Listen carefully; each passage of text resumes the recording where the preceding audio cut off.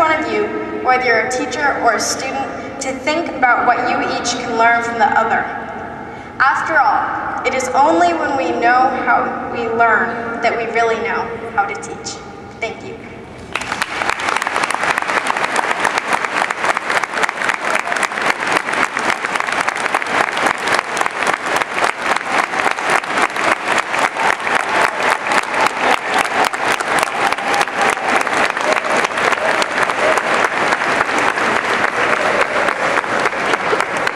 Thank you, Adora. What a wonderful way us to kick off the opening of our National Title I Conference.